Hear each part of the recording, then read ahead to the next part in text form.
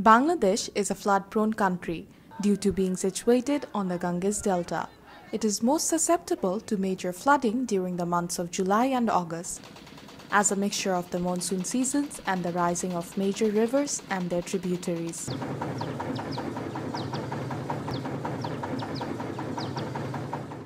This year, intense rainfall in the northern part of the country has inundated 17 of the country's 64 districts.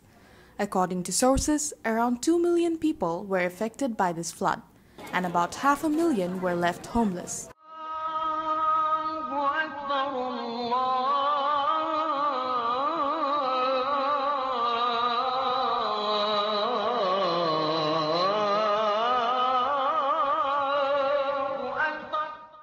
People have lost their homes and all their belongings due to flood and river erosion. Fields of crops are inundated in water as well. Many people have lost most of their crops and livestock. Thousands of these flood-affected people have taken shelter on higher grounds and embankments. Yet, their sufferings are increasing every day. Flood-affected people are deprived from basic needs such as safe drinking water and healthcare facilities.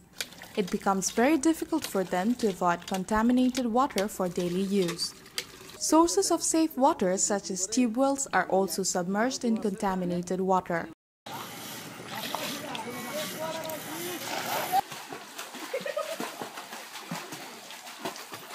Government has taken steps to minimize the effects of flood.